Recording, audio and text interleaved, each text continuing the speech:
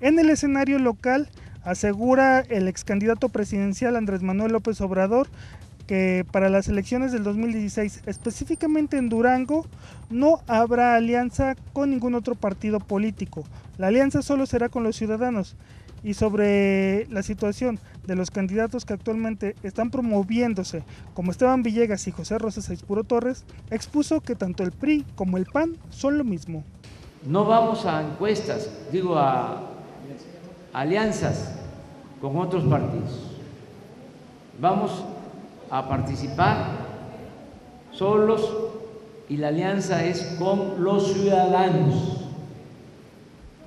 Hay que tener en cuenta eso. El partido más numeroso es el de los ciudadanos, sin partido.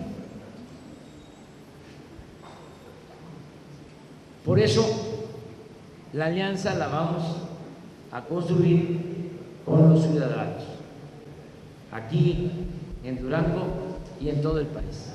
No vamos a aliarnos con otros partidos. Y no es nada más por la limitación legal.